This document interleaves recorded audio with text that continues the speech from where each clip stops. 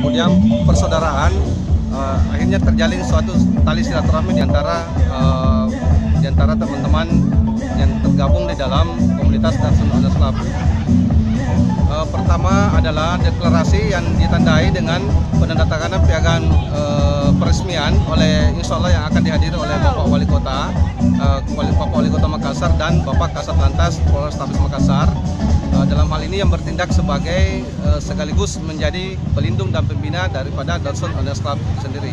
Kemudian uh, di samping daripada kegiatan tersebut ada beberapa games yang akan kita uh, sajikan untuk teman-teman dari seluruh komunitas otomotif yang ada di Makassar Di antaranya adalah uh, ada lomba uh, parkir itu salah satunya jadi dalam lomba parkir ini waktu yang akan kami tentukan siapa yang paling cepat dialah dialah sebagai uh, pemenang atau juaranya Natsun Owners Club yang mana tujuannya adalah agar supaya seluruh uh, ini kurang lebih sekitar 50 orang di seluruh Sulawesi Selatan.